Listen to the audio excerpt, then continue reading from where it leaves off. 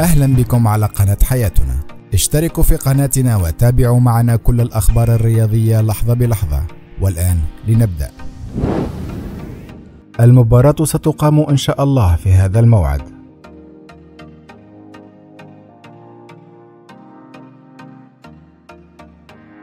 كما نحيطكم علما بأن المباراة ستلعب على أرضية الملعب المذكور.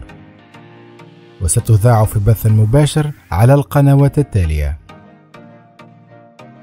أما بالنسبة لصافرة بداية المباراة فسوف تنطلق إن شاء الله في هذه الأوقات وذلك حسب التوقيت المحلي للدول العربية ويرجى مراعاة فارق التوقيت بالنسبة للدول التي لا تظهر على الشاشة مشاهدة طيبة للجميع.